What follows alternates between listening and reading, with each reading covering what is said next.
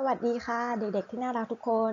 วันนี้คุณครูฝ้ายก็จะมาทำการสอนวิชาเทคโนโลยี วิทยาการคำนวณนนะคะ ชั้นประถมศึกษาปีที่ 3 นะคะ วันนี้เราก็จะมาเรียนเรื่องการเขียนโปรแกรมคอมพิวเตอร์กันค่ะ ค่ะ ในสัปดาห์นี้นะคะ เราก็จะมา เรียนหัวข้อหน่วยการเรียนรู้ที่ 2 การการเขียนโปรแกรมคอมพิวเตอร์ค่ะ มันก็จะมีอยู่ 4 หัวข้อนะคะ วันนี้เราก็จะมาเรียนเกี่ยวกับหัวข้อการทำงานคอมพิวเตอร์ และการเขียนโปรแกรมด้วย Scratch ค่ะ การเขียนโปรแกรมนะคะ คอมพิวเตอร์จะรับข้อมูลเข้ามาประมวลผลแล้วส่งค่าที่ประมวลได้ออกไป โดยการทำงานนั้นจะ ทำตามคำสั่งหรือโปรแกรมที่ออกมาอย่างเป็นขั้นตอนโดยโปรแกรมต่างๆ ที่ต้องการให้คอมพิวเตอร์ทำงานนั้น จะเกิดจากการเขียนโปรแกรม ดังนั้นการเขียนโปรแกรมเป็นการสร้างลำดับของคำสั่งเพื่อให้คอมพิวเตอร์ทำงานตามคำสั่งนั่นเอง การเริ่มเขียนโปรแกรมจะต้องออกแบบการทำงานของโปรแกรมขึ้นมาก่อน หรือเรียกขั้นตอนวิธีโดยสร้างเป็นลำดับ ของคำสั่งที่ต้องการให้ทำงาน ภาพด้านซ้ายนี้นะคะ การทำงานลักษณะนี้เรียกว่าการทำงานแบบวนซ้ำค่ะ การเขียนโปรแกรมเนี่ยจะต้องกำหนดวัตถุประสงค์หรือปัญหาขึ้นมาก่อนเนาะว่า เพราะอะไรเราถึง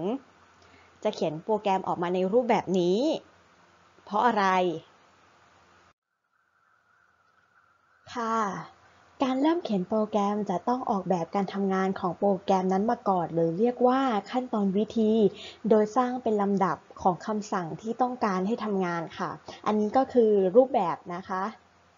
ขั้นตอนและวิธีค่ะอะอันนี้ครูก็จะยกตัวอย่าง หุ่นยนต์ตัวหนึ่งรู้จักคำสั่ง 4คำสั่งคือ เดินหน้า ถอยหลัง นั่งลงและยืนขึ้นการเขียนโปรแกรม สั่งงานให้หุ่นยนต์ซึ่งนั่งอยู่ที่ตำแหน่งเริ่มต้นหรือจุด A เดินทางไปที่จุด B เราสามารถเขียนโปรแกรมได้ดังนี้ นี่นะคะก็จะเป็นขั้นตอน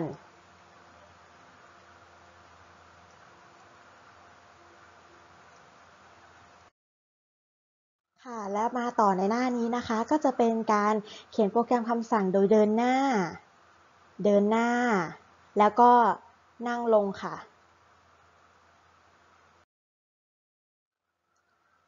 คอมพิวเตอร์สามารถทำงานได้ตามโปรแกรมที่มนุษย์เขียนขึ้น และคอมพิวเตอร์สามารถทำงานได้ถูกต้องตามโปรแกรมที่เขียนทำงานได้เร็วกว่ามนุษย์ และสามารถทำงานซ้ำๆได้เป็นอย่างดี นอกจากนี้งานลักษณะเดียวกันยังสามารถเขียนโปรแกรมให้ทำงานได้หลายวิธี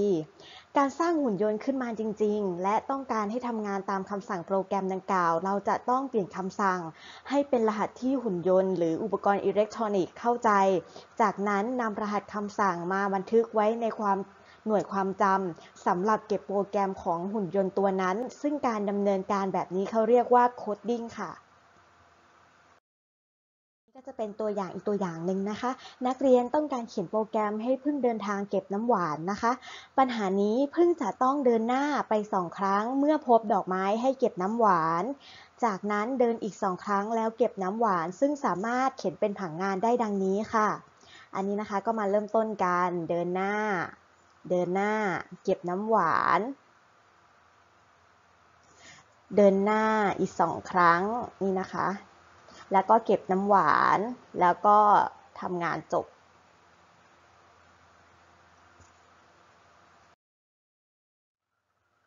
ค่ะการทำงานของโปรแกรมลักษณะนี้เรียกว่าการทำงานแบบวนซ้ำ ซึ่งจะทำงานซ้ำแบบเดิมสองครั้ง ในการเขียนโปรแกรมบางเรื่องอาจต้องให้โปรแกรมทำงานซ้ำตามจำนวนที่กำหนด และงานบางงานอาจต้องทำงานซ้ำๆไม่มีที่สิ้นสุดค่ะ การเขียนโปรแกรมตามอัลกอริทึมหรือผังงานที่เขียนขึ้น เป็นการทำงานตามลำดับคำสั่ง เรียงกันไป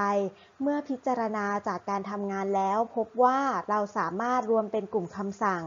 แล้วให้ทำงานซ้ำสองครั้งได้ ซึ่งเขียนอัลกอริทึมหรือผังงานได้ดังนี้ นี่นะคะ เริ่มต้น 1. ทำซ้ำคำสั่งต่อไป นี้สองครั้งก็คือเดินหน้าสองครั้ง แล้วก็เก็บน้ำหวาน แล้วก็จบค่ะ ค่ะ ในหน้านี้ก็จะเป็นกิจกรรมที่ 2.1 นะคะ การเขียนโปรแกรมบนเว็บ coding อ่านักเรียนเขียนโปรแกรมบนเว็บไซต์ coding โดยปฏิบัติตามขั้นตอนดังนี้ ก็จะมีอยู่ในหนังสือหน้าที่ 38ถึง45 นะคะ มันก็จะเป็นข้อ 1 ถึงข้อ 10 โดยประมาณนะคะว่า เป็นลำดับขั้นตอนข้อ 1 เข้าสู่เว็บไซต์โปรแกรม เว็บ coding เนาะจะปรากฏหน้าเว็บไซต์ดังภาพอ่าดังภาพนะคะ ดังภาพนี้เลยครูลองเข้าไปมาแล้ว แล้วก็คลิกเมาส์เลือกนะคะ โปรแกรมจะแสดงหลักสูตรตามคอร์สภาพต่างๆ ในหนังสือก็จะมีบอกอยู่ว่าให้นักเรียนทำตามขั้นตอนหนังสือเลย ว่านักเรียนสามารถเขียนโปรแกรมได้ไหม จะมีถึงหน้า 45 นะคะ มาในส่วนของหน้านี้นะคะ อันนี้ก็จะเป็นเฉลยใบงานจากวิดีโอที่แล้วนะคะ อันนี้ก็จะเป็นเฉลยข้อที่1นะ และอันนี้ก็จะเป็นเหตุผลครูก็จะพิมพ์บอกไว้ในนี้หมดแล้วนะคะ ว่าเพราะอะไร ถ้าเกิดนักเรียนมองไม่เห็นนักเรียนจะต้องซูมเข้าไปเนาะ และอันนี้ก็จะเป็นตัวอย่างคำตอบค่ะ ในการเขียนแผนงาน อันนี้ก็จะคือคำตอบของอีกข้อหนึ่งเหมือนกัน เปิดหนังสือหน้าที่ 16 นะคะ ถ้าในกรณีที่เขียนไม่พอจริงๆ ครูแนะนำว่าให้หากระดาษ A4 หรือกระดาษรายงานค่ะ แล้วเขียนตามข้อเนาะว่าแบบคำตอบข้อนี้อยู่ตรงนี้ แล้วพอนักเรียนเขียนเสร็จ นักเรียนก็ฉีกกระดาษออกมา แล้วก็แม็กติดกับหนังสือในหน้านั้นเลยหน้าที่ 16 เพราะว่าเราซื้อหนังสือเป็นของตัวเองแล้ว เราสามารถแม็กเข้าไปได้เลยค่ะ แล้วเดี๋ยวเปิดเทอมครูก็จะมาตรวจการบ้านอีกรอบหนึ่งเหมือนกัน อันนี้ก็จะเป็นเฉลยใบงานของหน้าที่ 17 นะคะ ข้อ 2 นี้เนาะ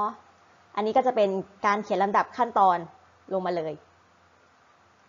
และหน้านี้ก็เปิดหนังสือหน้าที่ 26 ค่ะ ก็จะมีคำตอบให้อยู่ในตัวสีม่วงๆนี้แล้ว นักเรียนก็อย่าลืมวาดภาพเพิ่มเติมเข้าไปนะคะ นี่อันนี้ก็คือคำตอบของแต่ละช่อง เดี๋ยวนักเรียนมองไม่เห็น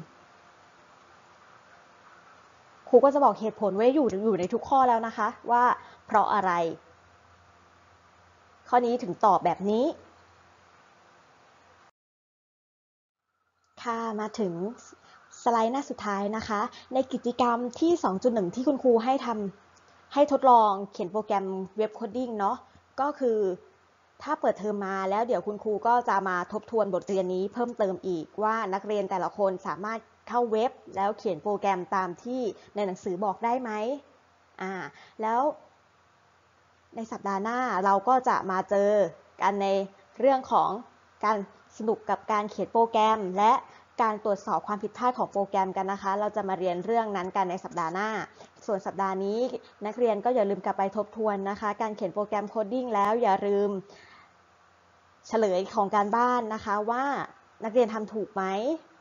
แล้วก็อย่าลืมรักษาสุขภาพกันด้วยนะคะ ช่วงนี้ฝนตกบ่อย แล้วก็ออกไปไหนก็อย่าลืมใส่แมสด้วย แล้วเรามาเจอกันใหม่ในสัปดาห์หน้าค่ะสำหรับสัปดาห์นี้ บ๊ายบาย